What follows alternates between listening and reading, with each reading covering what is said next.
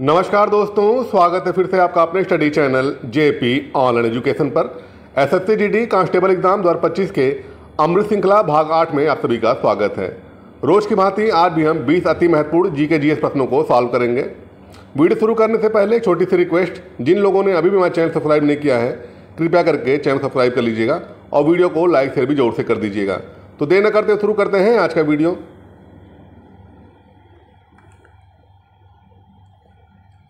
प्रश्न संख्या एक निर्वाचन आयोग किस अनुच्छेद से संबंधित है? आपके ऑप्शन हैं अनुच्छेद तीन सौ अड़तीस अनुच्छेद 324, अनुच्छेद 330 अथवा अनुच्छेद तीन सौ तिरालीस।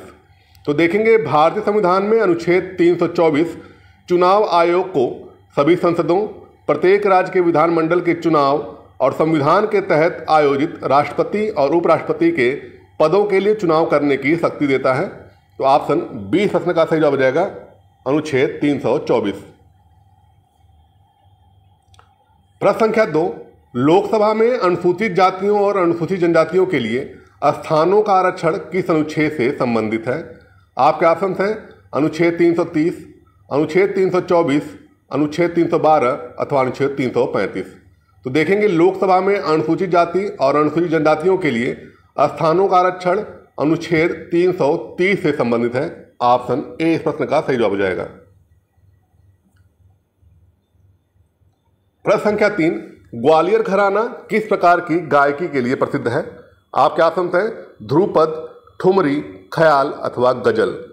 तो बात करें ग्वालियर घराने की तो ये जो है, ख्याल गायकी के लिए प्रसिद्ध है। ऑप्शन सी प्रश्न का सही जवाब हो जाएगा, ख्याल।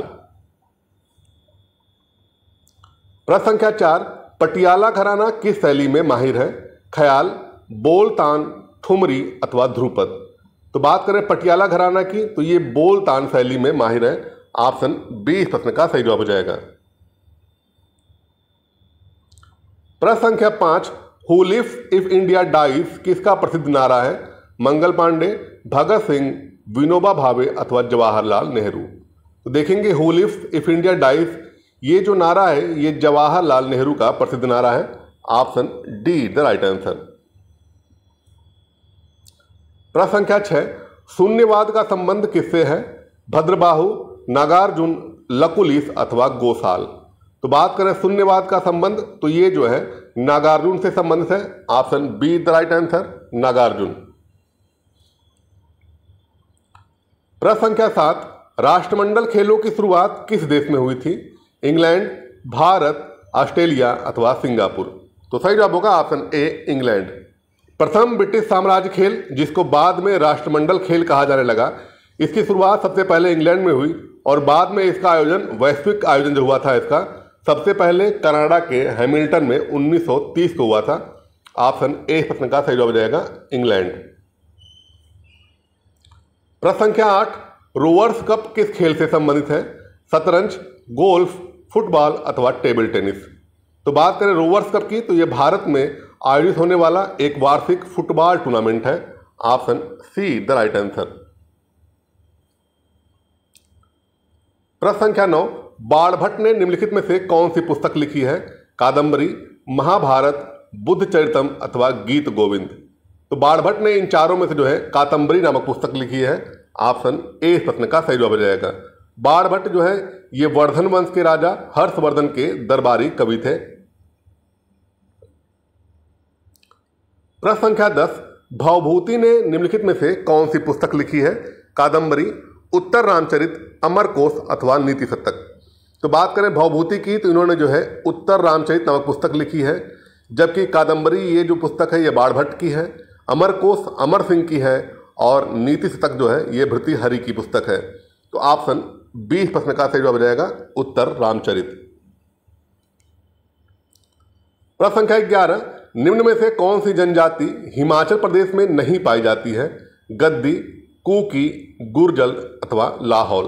तो इन चारों में से आप देखेंगे जो कुकी जनजाति है, ये हिमाचल प्रदेश में नहीं, बल्कि मणिपुर में पाई जाती है।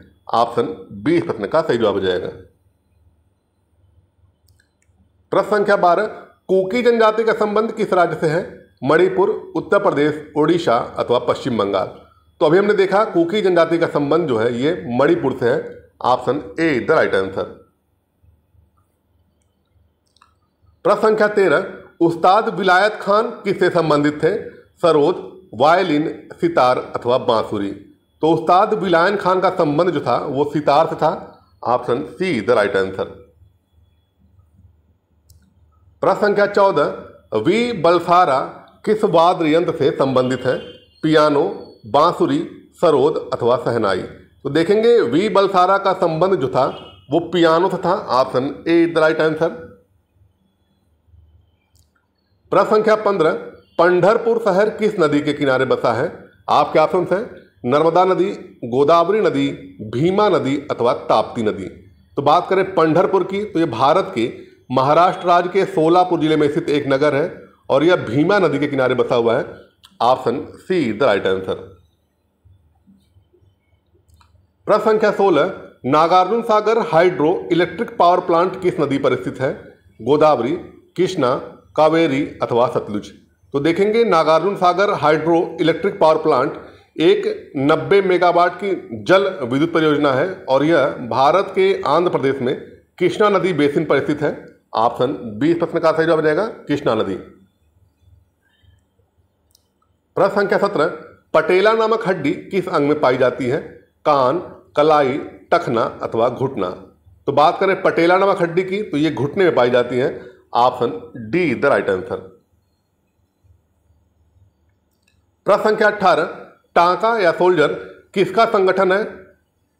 PB plus S N C U plus Z N C U plus S N अथवा C O plus Z N plus N I तो देखेंगे टांका जो है, ये टिन यानी कि एस एन और सीसा यानी कि पीबी का जो है संगठन है, option A is the right answer.